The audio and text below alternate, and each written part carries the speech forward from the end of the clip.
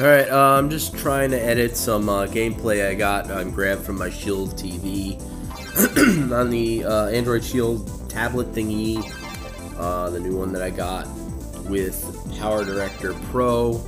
So yeah, I'm trying out the voice over feature. I want to sideload this application to the Shield TV and see if I can get it to actually uh, work on the Shield TV so I can edit videos on the Shield TV and basically, uh, you know, mix them down and, and uh, yeah, and make a video, edit videos on just the Shield TV.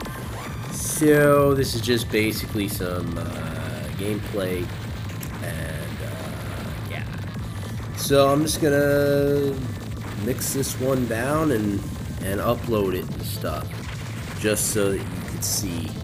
I gotta just uh, mix in the the, uh, the voiceover, the boring ass voiceover right now, and the audio from the game. So I'm gonna link you to the video editor in the description. Uh, it's paid. There, I think it's a, no. I think yeah. I think there's an in-app purchase for for the full version, and it's free to download. So yeah, that's that. And thank you for watching. And enjoy the rest of the gameplay.